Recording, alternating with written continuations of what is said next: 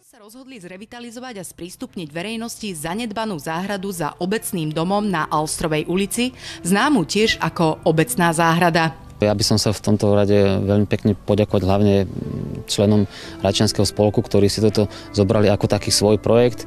Keď sme sem prišli cca pred tromi rokmi, tak to bolo zarastené burinou, náletovými kríkmi, bola to taká malá džungla.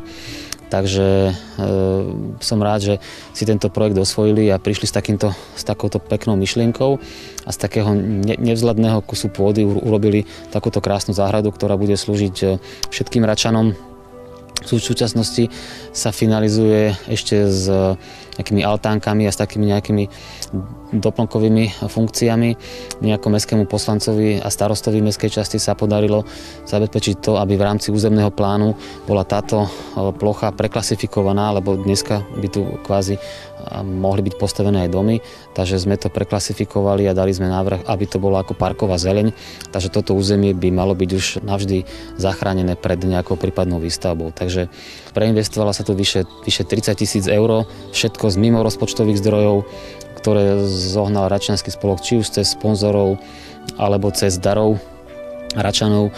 Ja som rád, že aj na takých eh, tých miestnych brigádach sa tu zúčastnili od detí od základných škôl až po našich seniorov. Takže ako som povedal seniorom, tak pod tým orechom tam bude pre nich jedna lavička a tam budú môcť eh, mastiť karty.